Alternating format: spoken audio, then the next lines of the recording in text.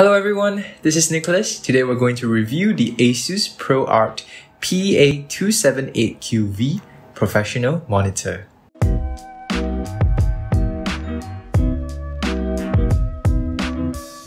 So let's first go through the specifications of this ProArt display. It is a 27-inch Quad HD IPS monitor with a frameless design. It has an international color standard 100% sRGB and 100% Rec 709 wide color gamut. Now you probably understand a few terms there and a few terms that you may not, but overall this just means that it's a damn good display. So the fact that it's a 2K display, an IPS panel, and also a 100% sRGB, you're going to get the most color accurate display as possible in the market.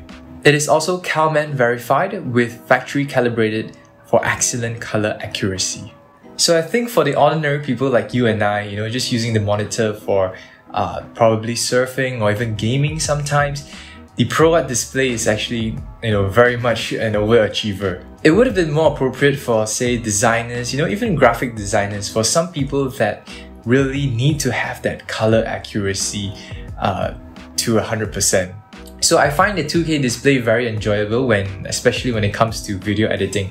So I'm so used to a 1080p display that right now in a 2K display, I'm actually seeing much more content uh, in my project itself. So with that said, I'm able to save on time, you know, not, not having to drag uh, the contents here and there, you know, I'm just able to see everything in one shot. So that's amazing. It has a 75Hz refresh rate and adaptive sync technology to animate content with fast action and eliminate screen tearing.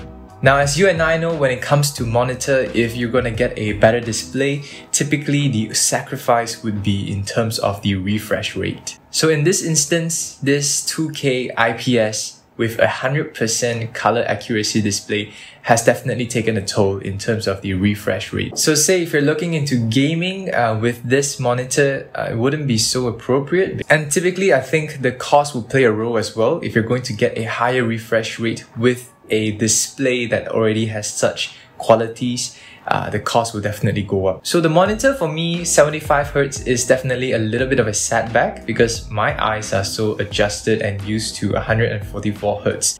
Now the connectivity on this monitor is extensively well, so I'm just going to go through the few items that they have available. They have a display port, a mini display port, HDMI, a dual link DVI-D, audio in and earphone jack, and a USB 3.0 port. Now also not to forget, although it's not the best feature, but the monitor does come with a built-in speaker. So if you just got this monitor without an external speaker, the built-in speakers will do just fine for now. And last but not least, the feature that I quite enjoy on the ProArt display would be the ergonomics. It has an ergonomic stand with tilt, swivel, pivot, and height adjustments for a comfortable viewing experience, plus it is also VESA wall mountable. You have no idea how many monitors that I've seen without such ergonomics that it's actually causing a lot of neck pain uh, for office workers and even gamers. So proper eye level and ergonomics of the monitor is very very important for your neck and your spinal health. So yeah, that's essentially it for the ProArt uh, professional monitor. Now, by all means, I'm no professional when it comes to, uh, you know, having used the computer for color accuracy work or whatnot. Um, you know, occasionally, of course, I use the monitor for video editing. So color will sometimes be, of course, important in that sense but um, it's not something that I'm very meticulous about. And other than that would be perhaps just like uh, gaming or even, you know, surfing the web. But yeah, that's about it. So on a closing note, I've got to say the color accuracy of the ProArt display is something really to be admired of.